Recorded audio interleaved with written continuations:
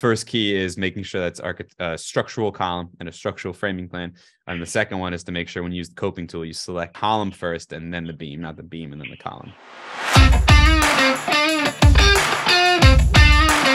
It's a process that, if you are using Revit, if you're using BIM, every single design team should be doing this. Got a lot of my architect friends out there. You are actually the ones who need to hear this more than anything.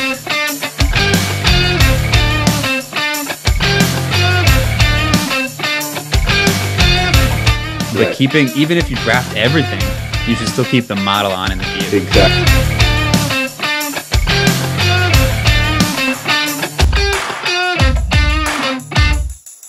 I guess I'll just I'll read out the question first, which had to do with timber timber post post and beam type of framing. But I mean, honestly, I think it's also just regular framing, depending on what you're doing. Like with decks and stuff, a lot of times we'll do Mhm. six by six and do notched notched column stuff. So Mhm. long story short, the question has to do with taking a big column and uh putting beams on top of it and then notching notching the the beams out, right? Or notching Yep, the column exactly. to sit on the beams. Yep.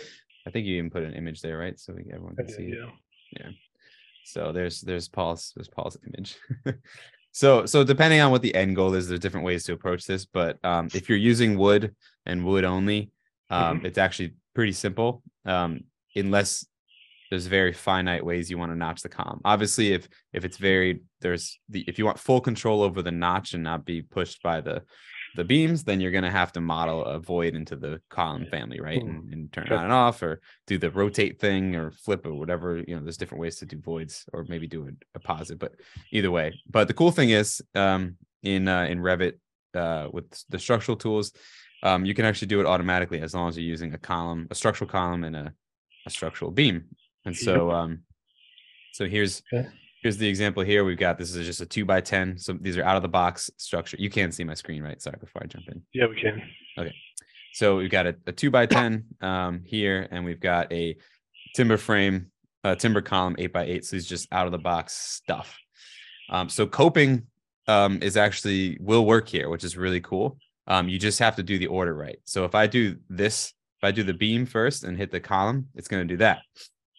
Which when you talk about coping, that's usually the case. Is there's some version of that.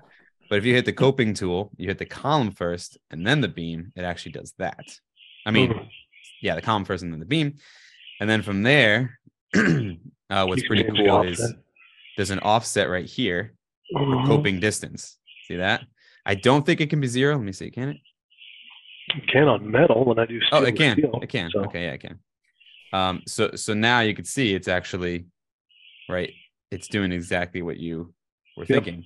Um, and then Well, I think the must have an same applies. column then. I bet. I bet that's my problem. Mm, probably. Yeah, that might be it. I think it has to be structural for coping to work. Um, so let me just copy this over and you can see it even, well, it's sorry, I didn't because I didn't have a cope this one. So now, you know, obviously if we have two, you have to Mhm. cope from here to here. And now you can Mhm. see now it's coped by that guy. Okay. Right. So I, I mean, if you want, let's test it real quick. Let's uh let's throw in an uh, architectural column. You think you might have an architectural column, right? I think I was opening. Although no way, because timber comes in here, but uh, let's let's just see. Let's do like uh I guess we could try a rectangular column. Oh no, I'm still in structure. Was I still in structural? Yeah, I was still in structural, sorry. let's Yep, it's an architectural column. It won't pick up on the coping tool. Yeah.